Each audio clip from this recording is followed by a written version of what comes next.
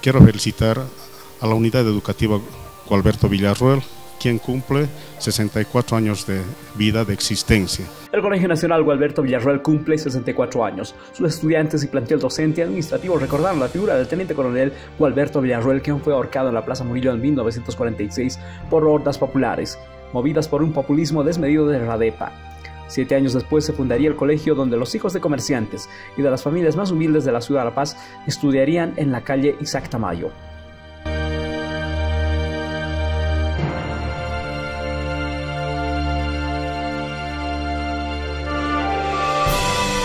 una de las unidades educativas más grandes del departamento. Tiene mil estudiantes y solamente funciona secundaria.